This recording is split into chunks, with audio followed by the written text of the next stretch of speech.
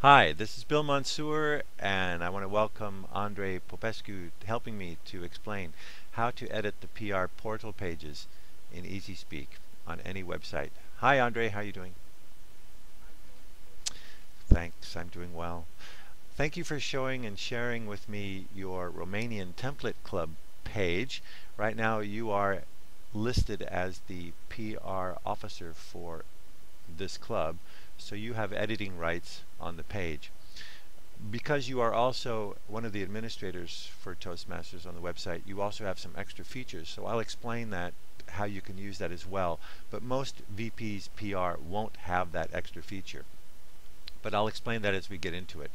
Right now you're looking at the home page of the Romanian Template Club and you see that the page is laid out in a certain format on the left-hand side is a column that's on every toast on every website page on the tmclub.eu or EasySpeak setup.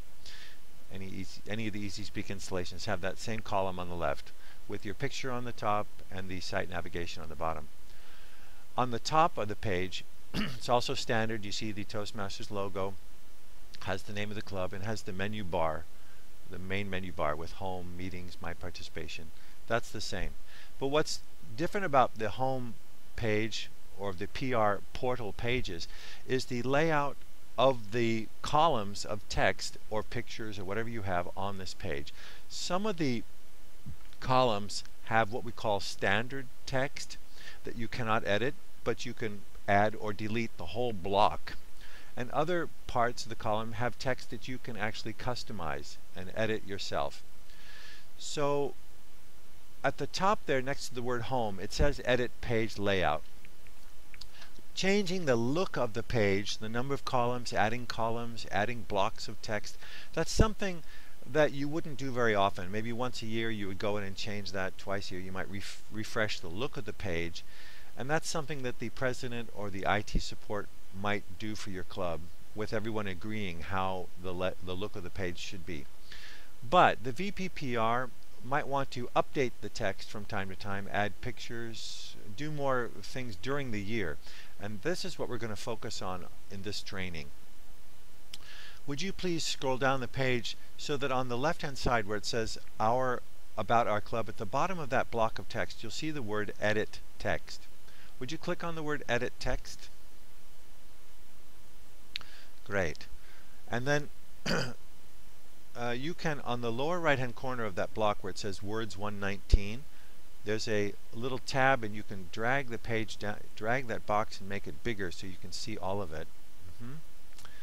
That is what we call a web block. This web block is what we call a free text web block and that means that you are free to edit any of the text in there that you want. Would you go ahead and update that text, change it any way you want, copy new text into it.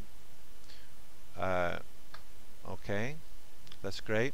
Now you see at the top of the block you have some formatting tools. You could select text and change the color, for example. You can make it bold. You can change the font size. Anything you want to change the look of that text that you've that you've customized in that block.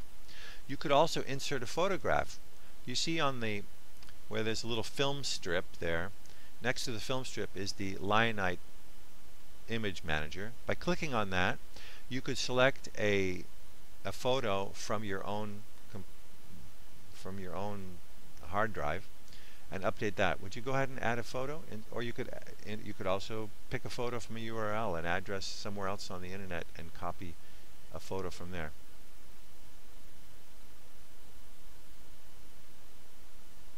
Found a picture. Great. Okay.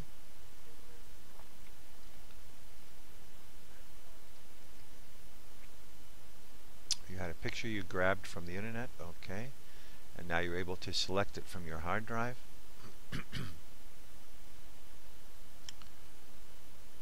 always fun to see what other people have on their computers when they're sharing their screen.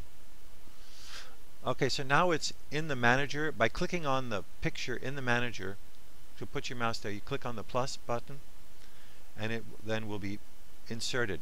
Now because you're using Firefox as a internet browser, you're able to reshape the picture.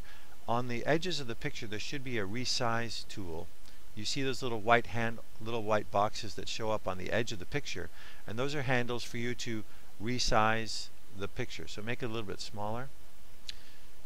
That's right. Unfortunately, by using other browsers such as Safari or Chrome or Internet Explorer, the Leonete Manager doesn't work in the same way. There's other ways to edit the photos, but I find by using Firefox it's the easiest for resizing pictures.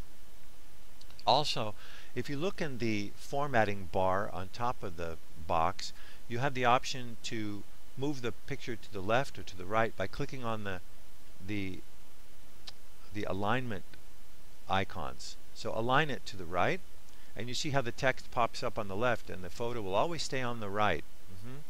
Try dragging try dragging the size of your internet browser to the right just a little bit and you'll see how the text is dynamic and will reshape itself around the picture. So the, the photo will always stay on the right side of the text.